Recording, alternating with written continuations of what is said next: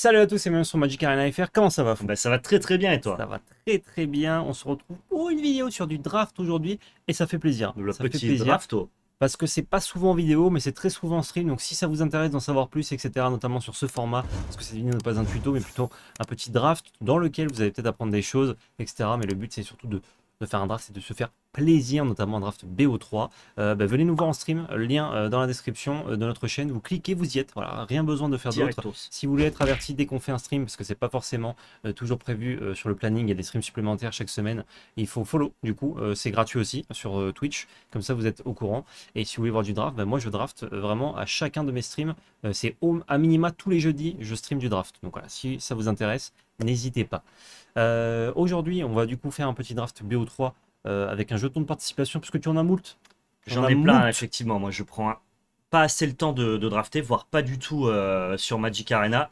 Je me consacre plutôt au construit. Du coup, j'ai plein de jetons de participation qui sont accumulés au fil du temps. Et on va en profiter du coup pour aller sur mon compte, histoire que tu me carries un peu. Toi, tu as oh, pas mal joué à Donjons et Dragons D&D. Le format te réussit bien.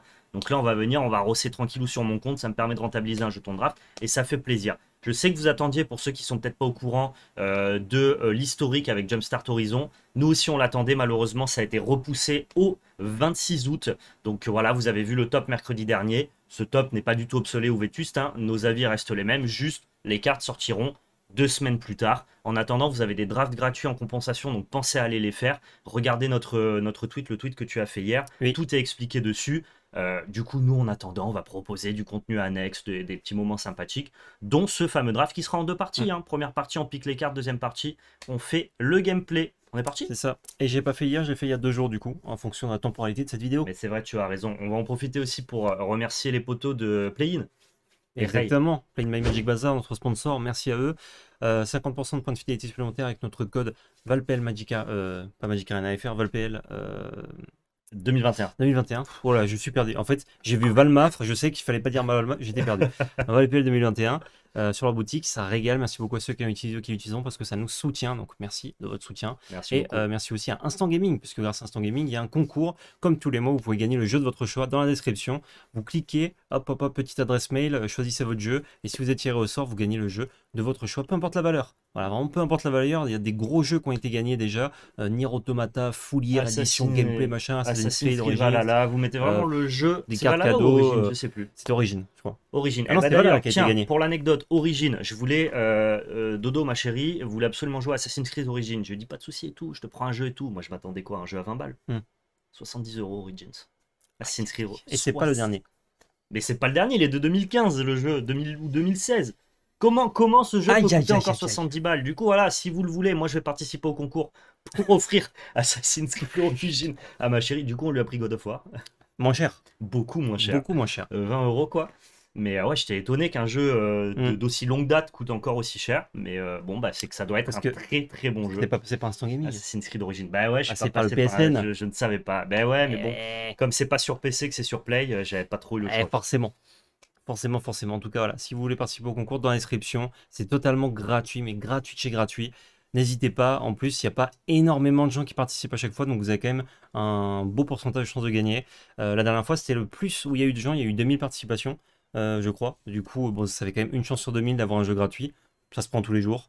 Euh, les fois d'avant, il y en avait, euh, il y en avait beaucoup moins. Il y avait genre 1000 participants. Donc vraiment, n'hésitez pas à tenter votre chance. Ça vous coûte rien, c'est deux clics quoi. Deux clics, franchement, vous avez le temps pour deux clics. On vous en reparlera, vous avez jusqu'au 31 août pour participer à ce concours, donc encore 19, jours à partir du moment où nous on tourne la vidéo. Donc voilà, on vous en parle dans cette vidéo, on en reparlera plus tard, mais voilà, si jamais vous avez le temps, passez faire un tour. Et enfin, pour finir, en attendant qu'on trouve d'autres joueurs, parce que là on fait un draft avec des humains et ça sera en BO3, n'hésitez pas à anticiper la confiance, vous mettez votre meilleur pouce bleu. Quand on en parle, quand on le verbalise, vous nous stratosphérisez sur la vidéo, je crois que c'était Mono Black Control, on a parlé du pouce bleu, on nous avez mis 1300 pouces bleus, c'est énorme. C'est énorme, ça référence extrêmement bien nos vidéos. Et d'ailleurs, cette vidéo-là, Mono Noir Control, elle a fait 14 000 euh, mm. vues, ce qui est quand même dans les euh, euh, hautes sphères de nos moyennes de vidéos. C'est énorme. Donc vraiment, les, pouces bleus en masse sur une vidéo, ça les référence vraiment beaucoup. L'algorithme YouTube, il est très opaque pour plein de raisons, mais aussi très limpide sur certains sujets. Mm. Commentaires, pouces bleus, ça nous aide énormément. Donc si vous avez pensé, si la vidéo vous plaît, voilà, je me permets de faire le petit rappel. Yep. Eh ben c'est parti, écoute. Oh, tout pile pendant le, la séquence pub. Hop, je renvoie juste un petit message, excusez-moi. Et c'est parti. On attend d'autres joueurs. Alors, Draft Donjons et Dragons, euh, il y a beaucoup de gens qui n'aiment pas trop ça. Il y a des gens même qui disent qu'ils détestent ce format. Ça leur rappelle des formats style Xalan et tout, euh, ou qui n'étaient pas très fun pour le coup. J'avoue que moi non plus, j'ai pas aimé Xalan. Mais pour le coup, j'adore celui-ci. Euh, sauf le, coup des lancers de dés, des fois il y a un côté ban, mais finalement, euh, c'est le but de l'extension. prendre ça plutôt comme un côté, vous voyez la RNG à l'œuvre, alors qu'il y a des fois vous la voyez pas à l'œuvre. Genre quand vous savez pas ce que vous avez pioché au début de votre tour, euh, ça, c'est un peu de la RNG aussi. C'est juste que vous êtes en mode Ah, bon, bah j'ai plus ça. Alors qu'un lancer de dés, c'est comme si vous voyez l'ordinateur décider. C'est toujours une RNG quand même plus contrôlée parce qu'avec ton mm. deck build, tu limites quand même tes problèmes de, de, de, piochage de main et compagnie. Mais c'est vrai que c'est le but de Donjons et Dragons. C'était normal. Un peu, un peu roleplay. Euh, D'ailleurs, les archétypes, ils marchent par bicolorité. L'archétype euh, lancer de dés, c'est le IZ et il est généralement pas très beau moi, j'ai jamais vu de gens faire des perfs avec, donc en plus. De toute façon, de manière compétitive, plus tu variances, plus tu remets ton gameplay sur la chance, plus tu as des chances de perdre. C'est ça. Alors, on a un œil de Vecna en rare qui est un, un peu un faux ami parce qu'en fait, le format est, est assez euh, rapide finalement. Euh, on prend l'avantage assez vite, même si la partie va se finir plus tard. Et ça, euh, vous n'avez pas trop le temps de le faire. Et deux points de vie, vous allez déjà vous faire grignoter par-ci par-là, c'est pas très bon. par contre, on a Dreader que moi j'aime beaucoup, 4-3 qui est porté. Et quand il touche, il fait une 2-1 menace portée. Donc je pense qu'on peut partir là-dessus. Vraie bonne carte. Hein. Euh, ça, vraie bonne carte. Moi, j'ai jamais pu faire de token avec, mais juste le fait que ce soit une 4-3 portée déjà pour attraper les fly, ah c'est solide. C'est plus solide qu'un euh, humain qui va commencer à bourrer. Euh. Ouais, ces deux effets, on s'en fout. Et ça, c'est un peu faible. Mais l'archétype euh, Gredin Dimir est quand même intéressant. Le problème, c'est que Drider, c'est objectivement une bonne carte. Je connais pas le format, je te fais confiance et surtout, tu as eu des bons résultats dedans. Mais moi, je trouve que c'est assez faible, Drider. Hein. Les stats des bêtes sont assez faibles. Ok. Alors, je sais que c'est par contre un format où les stats des créatures ont plus d'attaque que de défense. Ouais. ça se voit 7-3, 4-3 et compagnie. Donc, on est on est sur un format où les phases de bloc sont assez faciles. quoi. C'est ça, sauf l'archétype euh, Orzhov, euh, donjon, où pour le coup tu veux t'aventurer très vite, mais euh, souvent les bêtes ont plus d'endurance. Du coup tu peux bloquer des stratégies, c'est assez fort. on a Zalto, duc des géants de feu, 7-3 piétinement, et on s'aventure quand il subit des blessures. C'est pas très bon, mais a-t-on mieux que cette grosse bête piétinement? Un jour ciblé, on renvoie la moitié des bêtes, ça c'est un peu fatigué. Ah ouais? Il y, a peu, c'est rare les, gros boards, on va dire. On a Regard du Tyranneuil qui est un anti-bet cher mais, euh, mais acceptable. 6 mana, on fait mon 11 moins 11. Ouais. De, de double pique euh, euh, au pic de ça. C'est pas mieux d'avoir un Zalto, cela dit. On peut piquer un Zalto, on verra après. ça reste un 7-3. Voleuse de Mago, c'est ok. On peut prendre Lara, histoire de. On va voir ce que rester un peu On peut rester un peu open. Alors si on joue rouge, on peut jouer un Zalto, quoi. Alors on a une boule de feu de Faridé qui est pas mal. On a un outil de voleur que j'apprécie particulièrement. Les équipements, euh, surtout les équipements, euh, les équipements noirs, ne les sous-estimez pas. C'est vrai que souvent, ce sont de mauvaises cartes. Mais dans, disons, Donjons et Dragons, ce sont de très bonnes cartes, les équipements. Bah là, en plus, il permet de ramper. Ça, c'est pas mal. Après, on a un dragon rouge qu'on va, je pense, quand même piquer au-dessus. Parce que grosse fly qui met 4 quand elle arrive en jeu. Ok, mais est-ce que le format, il est assez, il est assez lent pour que tu aies le temps de jouer ton dragon peut arriver, ouais. En fait, c'est juste que l'avantage est pris tôt, mais la game se finit pas forcément tôt. Ah, mais est-ce que cet euh, avantage, il est capable de, de ce que j'entendais, le format était difficile à switch? C'est-à-dire le côté euh, euh, turn the corner, comme, comme on dit notamment avec Isaac Dragon, mm. est-ce que tu es capable, si tu es en désavantage, de revenir? Vu, je prendrais le dragon parce que ça, ça ne reviendra pas, alors que l'outil de voleur, les gens le mésestiment et, et le laissent passer souvent. Et Empire, c'est pas grave, des outils de voleur, c'est facile à retrouver, alors que Dragon Rouge. Même en draft BO3, les gens mésestiment. draft BO3, j'en ai fait qu'un seul pour le coup, c'était en événement et. J'ai pas assez d'infos là-dessus.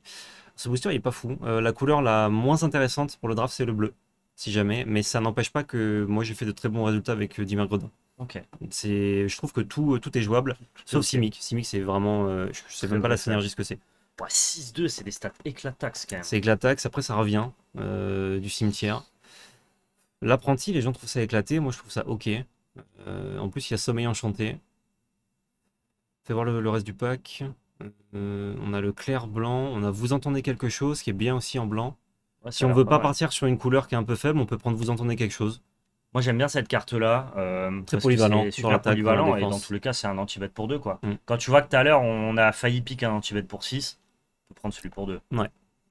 Alors, euh, oh, on a une blême titubante, un tourmenteur à gage, les, les, équipements que je vous parlais, rapière de duel. Typiquement, pour un mana, plus 2 plus 0, vous l'attachez une bête, et ça serait équipe pour 4. Quand vous n'avez plus rien à faire, 4 mana, vous en foutez de les mettre euh, là-dedans. Euh, c'est un bon équipement. C'est clair. Euh, là, Blême Titubante, c'est quand même une, bonne une bonne carte. Ouais. Euh, paladine dévouée aussi, mais je pense qu'on va prendre la blême. Ok, la paladine, Euh, elle fait quoi? Elle met plus en plus en vigilance quand elle arrive en jeu. D'accord. Mais euh, ça dépend un peu, c'est un peu tôt pour Pixa quoi. Ça, c'est pas une mauvaise carte en vrai. Eh ben écoute, je l'ai joué dans mon deck avec lequel j'ai fait 6-1 et je l'ai décidé tout le temps. Ah, tu peux. mais vouloir- tu euh, peux elle était là la game 1 à chaque Tu, fois. tu peux vouloir la décider selon les match-ups, mais c'est fonctionnel quoi Ouais. comme carte. Si je devais vous conseiller euh, une bicolorité, genre vous avez le choix, vous pouvez drafter n'importe quoi, euh, je vous conseille un Rakdos. Parce qu'avec les trésors, vous évitez les foules, les deaths, vous avez toujours des trucs à faire, vous cassez les gros trucs. C'est pas mal. C'est Mais- étonnamment ce vers quoi on se dirige et tu peux sûrement splasher des ouais. cartes off color, j'imagine. Euh, oui, mais avec parcimonie quoi. Bah, si t'as des trésors, ça doit être faisable. En tout cas, les Mm. bombes, tu dois pouvoir les splasher. Genre Rakdos bombe, c'est pas un Euh. archétype qui existe. Tu joues Rakdos trésor et euh, t'as piqué juste des très Tu, bonnes cartes. tu peux, mais le problème c'est que tes cartes Rakdos demandent des trésors pour faire des trucs aussi, donc euh, Ouais. c'est pas gratuit, gratuit. Il faut vraiment que ce soit une super bombe. Là, je crois qu'on va prendre Sommeil Enchanté ou Berger ou Bulette. On va peut-être Sommeil Enchanté, voilà, c'est lui qui est le picoto. Parce qu'il y a un monde où personne joue bleu, euh, parce que les gens euh, bah, pensent que bleu c'est nul, alors qu'en fait euh, bah, ça va faire des trucs. Eh ben, on a un outil de voleur qui est Ouais, revenu. c'est celui qui est on a une troubadouresse qui est aussi excellente. À chaque fin de tour, si on a landé, on s'aventure dans le donjon. Mais là, on est loin du vert. On peut essayer de forcer un petit peu, voir ce que, ce que ça passe, parce que c'est vrai que le vert, on n'a pas eu Là, beaucoup euh, de, de dingueries. On s'est laissé un peu open, mais là, je pense Mm. que le vert, ça commence à être complexe. quoi. Le rouge, par contre, on voit qu'il n'y a qu'une mauvaise carte euh, Ouais. qui est laissée. euh, Enfin, pas très intéressant. Peut-être qu'on va partir sur c'est un vrai bail. Orzhov, euh, c'est un vrai bail. Ah, on a l'épée allouée qui est bien dans Ragdos, puisque c'est une 4-3 initiative célérité quand on la joue avec un trésor. Ah bah Donc ouais. ça met une bonne phase de sauce. Le vert, là, est présent, mais il faut faire attention, c'est pas parce qu'il est présent que c'est forcément bien. Ouais. Là, il y a la rôdeuse qui est une bonne carte. Force du taureau et arc du rôdeur qui sont des bonnes cartes, mais pas forcément des très bons pics. Et Mhm. duel forcé qui a été éclaté au sol. Donc même s'il y a 4 cartes vertes, Ah ouais, c'est un rituel, quoi. finalement. euh, Ouais, on va prendre l'épée, je pense. Contre force du taureau que les gens trouvaient pas très bien au début. Plus de plus de, euh, tu dégages une bête, c'est vraiment un bon tricks. Ça, c'est pas ouf. Ouais. Ah, ça, en fait, c'est bien juste pour curver. Et si le format il est agressif, euh, avoir des drop 2, ça a de la valeur, tu vois. Ouais, mais tu peux avoir de bons drops de euh, naturellement. Euh, Qu'est-ce qu'on peut prendre? Bah là, moi, je vois pas beaucoup mieux Je crois que que je ça. hein. prendrais Gredine, moi. Voleuse de guild, pardon. Ça, au cas où, ouais. Au cas où Vraiment, bleu la devient- sentinelle, ça fera rien du tout, quoi. Bah, juste euh, poser une menace T2, quoi. Alors là, si on veut essayer euh, Rakdos, on peut prendre ce spell-là. C'est pas mauvais. C'est pour 4, on défausse, on draw 2, fait 2 trésors. Je pense que ça a l'air même plutôt bien, non? Ouais. Ok. Ça n'impacte pas le board, quoi. Donc au T4, t'as pas trop envie de faire ça. Ouais. Ok. Euh, on peut prendre le. Vous voyez un Dans, garde approcher dans- dans- dans les formats de, de bombes, donc les formats un peu lents où les Mm. grosses cartes sont impactantes, ça c'est trop fort, mais dans ce format-là, ça a l'air d'être Ouais, vous voyez un garde, c'est mieux. Un... Pour 1, tu protèges une bête tout en engages une. Ouais, ouais. C'est cool. Re-sommeil enchanté. Ok. Je crois que le vert, on l'a Ça se fait en, en Grixis aussi, euh, potentiellement, l'archétype. Puisque du coup, t'as les trésors, mais Ouais. faut avoir un peu ça. des raisons, quoi. Ouais. Riyad, on la jouera pas. Ok. Un dragon d'or adulte. Alors ça, si on joue Rakdos, c'est quelque chose qu'on peut splasher. Ouais, c'est une vraie bonne carte. C'est excellent. Vol Il faudrait trouver des célérité. Kalain qui est le, un petit peu celui qui fixe Mm. l'archétype euh, Rakdos, quoi. Là, si on se dit qu'on part sur euh, Rakdos, on peut prendre le dragon d'or. Ouais. Rakdos ou Mardu, même. Euh, Non, mais Ra- Rakdos, c'est pas mal. Ouais.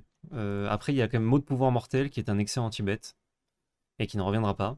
Mais de toute façon, le dragon ne reviendra pas non On plus. reviendra pas non plus, le dragon. Je pense qu'on va prendre le dragon et se dire qu'on peut gagner ça- sur, ça, euh, ça, c'est le genre de carte, par contre, qui, sont, qui est capable d'inverser les courses. Ce qui, est, ce qui a l'air d'être Ouais. dur dans ce format. Exact. Genre, t'es derrière, d'un coup, t'as ton dragon qui arrive, il met des points en fly. Mm. Tu vas prendre Ah des bah, points en retour, mais tu annules les Tu, phases tu d'attaque. fais la course, tu fais une différentielle de Donc, 8. euh, c'est énorme. Énormissime, quoi. J'ai battu quelqu'un, euh, d'ailleurs, euh, qui voulait faire la course avec le dragon d'or adulte. Ah bah, si t'arrives à avoir anti-bet ou si t'as un board qui est beaucoup plus large que le sien, ça va aller, mais Ouf, Tarasque. C'est dommage. ouais, Mais après, c'est un peu cher pour le format. je crois pas que ce soit très bon, de toute façon. Euh, alors, on a l'élémental du cul. Euh, Lame croc, regard. Ça a pas l'air mauvais, hein, genre, euh, dans un format un peu, un pas peu trop. péchu, ça se fait trade assez facilement en vrai. Vu que ça doit attaquer euh, Ouais. chaque combat. Un dragon rouge, Notre dragon rouge, ça nous ferait du bon late game. hein. ça fait, ça fait beaucoup quand même. Ce serait pas mal d'avoir une curve. hein. Et là, la Hmm. curve, on l'a pas. hein. Le lame croc est ok. Hein. C'est 2 de death touch. Ça, euh, ça, hein. quand ça touche, on s'aventure et tu peux le rendre imbloquable. Donc, euh, c'est ça qu'il faut prendre. ouais. ouais. Là, il faut soigner un peu nos- notre early game. Alors, qu'est-ce qu'on a? On a chanteur de vaillance si on reste sur l'archétype. Il y a beaucoup de blanc qui est proposé, n'empêche. Ouais, mais s'il est pas bon. Il y a encore du vous entendez quelque chose. Ouais. Euh, Boros, c'est cool, hein, sinon. Mais là, va falloir se décider, sinon on va pas avoir un deck assez consistant. Dans le doute, je peux prendre Chanteur de Vaillance. Ça ira, ça ira partout. C'est une bonne carte 2-3, ça buff à chaque phase d'attaque. Ça me va. Oh, le floumf. Alors, euh, ben, on a Barbare qui fait un trésor, ça accélère dans notre dragon euh, Boros, c'est cool. C'est top, hein. La Ghoul qui est ok aussi pour faire des tricks. Je crois que le rouge, est- il est pas mal dispo. C'est plutôt le Mm. noir qui est un peu. Dragon bleu, tu vois, genre pique 4, les gens ont pas piqué un dragon bleu qui est excellent. C'est plus fort qu'un dragon rouge en termes de stats. et- Sûrement que les gens détestent vraiment l'archétype bleu. Donc si vous voulez vous glotonner avec du bleu, même si c'est plus faible, il y a moyen quoi, souvent. On peut reprendre une épée allouée là. Ouais, ça le pas. tyranneuil, ça va être un peu cher. Ouais, on a déjà ça et ça et ça. Mm. On devrait pouvoir le faire, quoi. Ok, on a rapière de duel, qui est ok. Ouais. Ça met la pression. Je sais pas si on va la jouer, mais je sais pas trop ce que font nos, nos collègues, Ah, ça, Capitaine là. Goblin. Ça, ça Ça mettra pas la pression. du tout. Là, on fait que pique du rouge. On va voir où est-ce qu'on va avec ça. Bah, au pire, on peut Ça va rouge et après, euh, on, voilà, on décante bah. avec ce qui est. Avec, Avec ce genre de, de booster, ça donne envie de switcher. Ça a l'air pas mal, ça. hein. Enfin, pas mal. Ça a l'air fine, quoi. C'est un peu lent, mais ça fait des trucs. Je peux prendre le clair euh, à 2. Il est bien, tout à gauche. Ça fait des PF, ça casse des enchantes, ça enlève des cartes du cimetière. De toute façon, on, peut, on, on est en BO3, donc on peut l'avoir dans le side. Masse d'armes, ça va bien dans l'archétype, ouais. Ça a l'air pas si mal, non? Ouais. Gros équipement. Après, pour le coup, on s'équipe pas trop, mais. Là, on est un peu entre deux. Je pense qu'il y a beaucoup de gens qui ont changé de stratégie.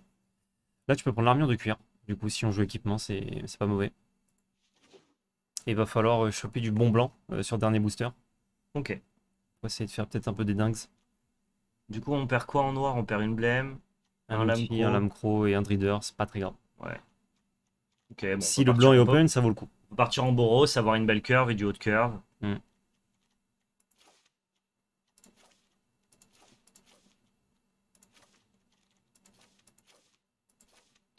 Euh, on a déjà une masse d'armes et le Dreader. Du coup, tu peux prendre le Pisteur des Ténèbres. hein. Ça fera un drop 3. Sachant qu'il y a des équipements qui permettent de s'aventurer, donc c'est pas impossible. Là, là, on commence à avoir une curve. Là, ce Mm. deck, il me plaît, tu vois. L'épée allouée, par contre, ça devient une 4-3 qui fait pas grand chose. Quoi. Ouais, mais elle a 4, elle a Mais 4 c'est de un body. patate pour 4. Ouais, ouais, ça reste ok. Je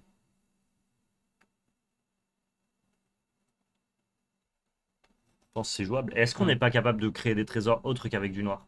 On a quand même du rouge qui est capable de faire ça. Euh, Oui, il y a du rouge qui peut. Bah, le barbare fait un trésor. vois, il se passe, il se passe des trucs quand même. Là, prend le clair béni, très bien. Ça peut permettre d'aller chercher un très- une très bonne gestion si on la pioche. Si on la pique, c'est un enchantement blanc qui transforme en trésor. Je peux prendre ça. Si jamais on a un Bruenor, ça pourra pour 1 plus 4 plus 0. C'est ça, pardon, ça y est. Alors, ok, donc Lara, on s'en fout. Ah, ben voilà, très bien. Forgeron ingénieuse. Ça a l'air très bien, ça. Ça, c'est cool. euh, ça nous permettra de trouver nos équipements potentiellement. Euh, Vas-y, tu peux switcher de, de view pour. euh, Ah putain, il y a le feuille de dragon. Et on n'a pas trop de, de gestion. Ouais, mais est-ce que si on est les jeux agressifs, on s'en fout pas un peu de la gestion? Est-ce que c'est pas à nous d'aller mettre d'énormes patates très rapidement? Franchement, quand t'as deux dragons, c'est dommage de pas prendre feuille dragon en plus. hein. Pour deux, on va mettre 4 là. Est-ce qu'on peut pas se dire que la forgeronne revient? Les gens n'aiment pas forgeronne. Ok, il y a ça Je qui est aussi. Vas-y. je prendrais feuille du dragon au cas où. Ok. En Bah. plus, si on n'a pas d'équipement derrière, la forgeronne sera pas ouf. Alors Ouais. feuille du dragon sera forcément bien. Après, il en faut combien d'équipements pour que ce soit fonctionnel? J'ai déjà drafté euh, genre 5 équipements et ça whiff, tu vois, des fois. Donc, euh, ah, putain. Je dis ça, on trouve un, un équipement rare. Très très bien. Bon, ça. ça met la pression, euh, ça fait que tous les kimchi deviennent menaçants. On va pas s'emmerder, je te le dis. On va pas s'emmerder sur ce draft. On va aller bourrer. Oh, dragon tortue. Oh, mais championne, mais parfait. Voilà, ça se met en place. 3-3 pour 2 quand elle est équipée. Mais ça, tu sais pourquoi? C'est parce qu'on a drafté The Hardway un peu, c'est-à-dire qu'on est resté assez focus, assez open sur les Mm. signaux et tout, et qu'en fait, bah, notre siège, c'était Boros. Oh, la torche du fouilleur. Très bien ça. Après, il faut pas non plus euh, 15 équipements. hein. Ah, il en faut un peu. hein. Ah ouais? Ouais, ouais. Sur- surtout celui-là, il est bien. Il faut des bêtes à équiper aussi, quoi. Euh, bah, de toute façon, on n'a aucune bête à pique là. Oui, oui, non, mais c'est pas mal ça, non? Moi, j'aime pas trop, mais euh, Ça, ça en side aussi en BO3, c'est trop vénère selon les archétypes. c'est meilleur en Ragdos. Mais ouais. Ouais, bah, ça crée un. C'est ça, ça crée un trésor. euh, Tu donnes plus de plus 0, ça casse avec un trésor, mais c'est surtout que tu as des outils de sacrifice en Ragdos. hmm. Donc euh, piquer une bête, la sacrifier pour draw 2. Bah, c'est bien dans un main deck de Ragdos, mais c'est ok dans un side de Boros, quoi. Ouais. Pour, faire, pour gagner des courses. Ah bah typiquement Mirror, euh, Ton dragon, euh, je te bourre. C'est ça. Un peu Gucci, quoi. C'est peut-être probable que maintenant, avec les bons équipements, ça, ça dégage. équipé pour 0, c'est bien. Parce que quand tu l'équipes tour 2 à ta championne et que tu as une 3-4 euh, parade, euh, le board il est bien pris quoi. On a combien de créatures? Parce que moi, j'ai pas envie de me retrouver à jouer un y a jeu 12 à bêtes. 10 créatures. Ok. 12 ça- bêtes, dont un équipement qui crée une bête. Ok. Bah, J'aimerais bien piquer des bêtes maintenant. Et ça, à mon avis, ça dégage. Ça, il y a des moyens que ça s'enlève. ouais. Ok, donc je pense qu'on a un vrai bon deck. On peut faire des trucs, ce je cool connais, de je connais un pas vrai trop le format, mais je connais les- la curve et je connais un peu l'intensité d'un jeu de draft, quoi. Mm. Et hum, Là, on fait des trucs. Ce serait bien de trouver un petit peu des, des early drops, genre la Javelinière Goblin. Drop Ouais. 1 qui met la pression. Euh, alors, qu'est-ce qu'il fait déjà le chien? Double init.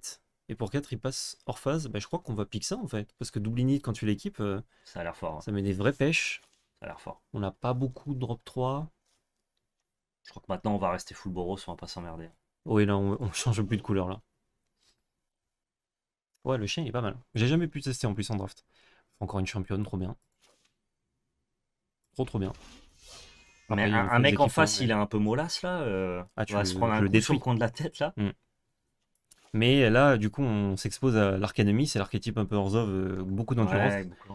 Et euh, on a deux dragons et Zalto qui peuvent aller mettre des points, mais euh, on a que ça quoi. C'est un Faut qu'il est gère, hein. Ça me parie. parce qu'il a des bons anti-bêtes Orzhov. Ouais, je pense, mais bon.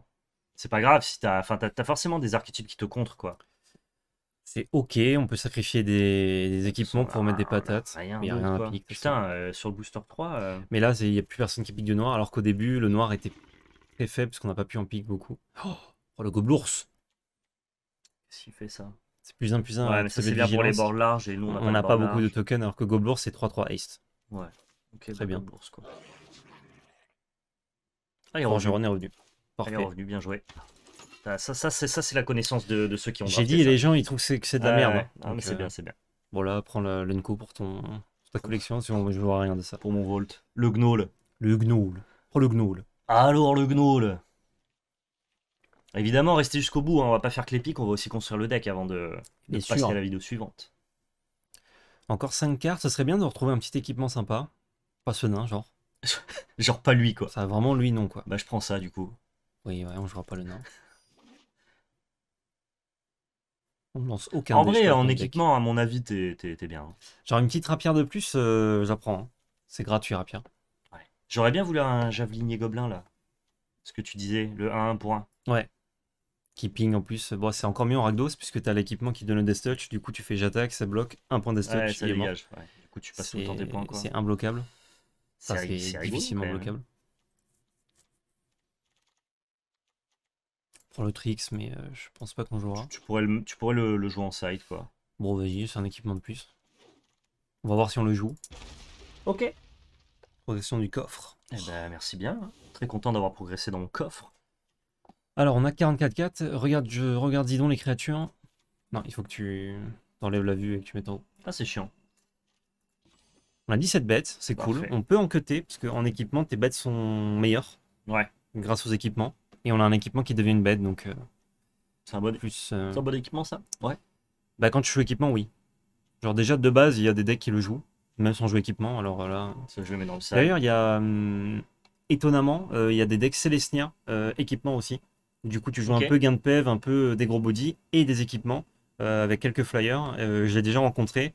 Euh, je crois que je l'avais battu, mais c'était vraiment très dur à battre. Quoi. Ok. Il faisait de la value, il s'aventurait, euh, il gagnait. En fait, il faisait un peu tout. Hmm. Il a pris dans tous les archétypes, dans trois archétypes en même temps. Et ça, et ça marchait bien. très Des fois, tu as consistant, des decks un peu euh, qui sont C'est hors, ce qu'on appelle un peu les archétypes secrets, Ouais. qui sont hors des 10 archétypes que le format te propose. Mm. C'est généralement les mecs qui jouent beaucoup et tout, qui trouvent des archétypes que les gens ne connaissent pas, Ouais. et où tu peux faire des choses un peu rigolotes en mixant de, des plans de jeu dans d'autres couleurs, en rajoutant des couleurs. C'est sympa. C'est pour ça que le draft, c'est assez deep, assez profond. C'est déjà profond dans ce que te propose l'extension de base, mais quand tu arrives à outrepasser les conditions de base et à trouver un petit peu des archétypes que, que toi seul euh, connais, c'est un vrai régal. Que toi-même tu sais. On peut couper une carte. hein. Alors, on a combien d'équipements? 5, je crois On a Oxider qui a quand même pas l'air d'être euh, la dinguerie du siècle. Genre, ça a l'air même. Non, mais c'est euh, assez chiant à bloquer pour l'adversaire. Parce que ça init. Parce ouais. que ça init et que hum, si jamais il bloque, il peut se dire que tu sacrifies un Arthos, tu t'en fous Ouais. et tu lui mets des gros points. Tous Mais tes équipements sont des artefacts.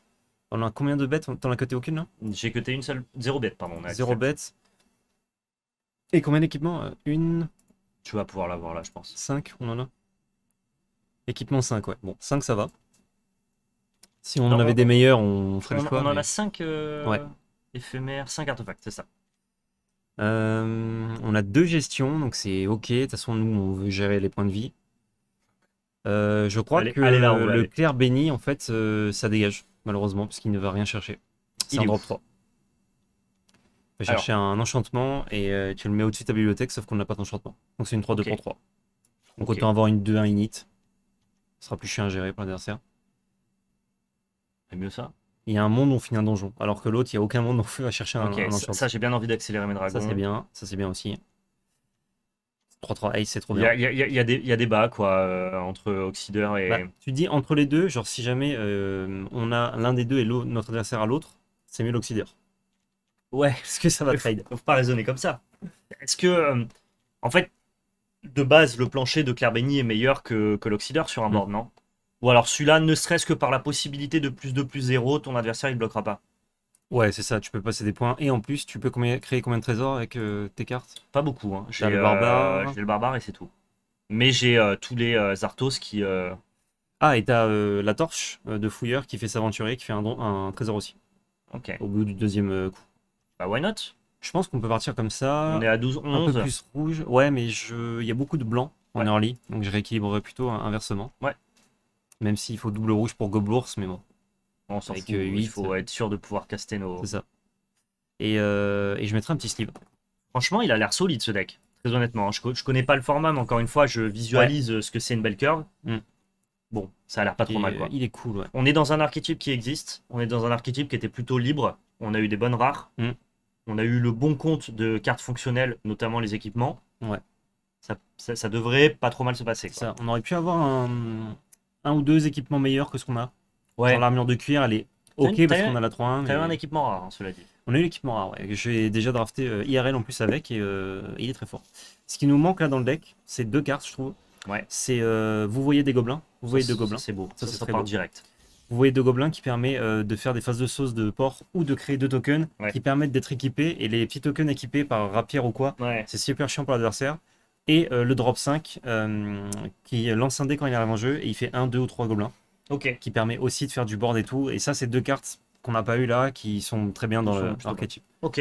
Et, euh, et aussi la curve à 4 un peu mollasse, mais la curve à 2 et 3 est bien stock. Donc Très on bien. va essayer de, Mais de se repasser. Je te quoi. propose qu'on s'arrête là. On trouve pas le titre maintenant. Vous découvrirez le titre du deck dans la prochaine vidéo.